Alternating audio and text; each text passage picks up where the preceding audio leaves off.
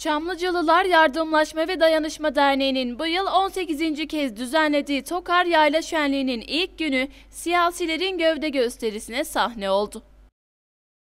Şenlik aralarında kırgınlık olduğu aşikar olan Alanya Belediye Başkanı Adem Murat Yücel ile Altso Başkanı Mehmet Şahin'in de uzun bir aradan sonra tokalaşmasına vesile oldu.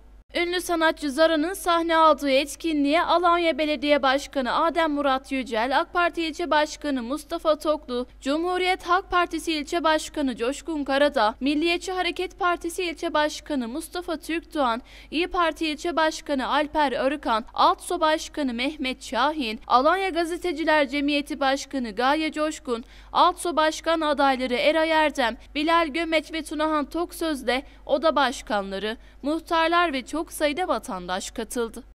Gündüz saatlerinde açılan standları ziyaret eden siyasiler vatandaşla sohbet ederken Alanya Spor'da iki günlüğüne spor mağazası açtı. Gecede katkılarından dolayı hayırseverlere Alanya Su Kabağı'ndan yapılan hediyeler verildi.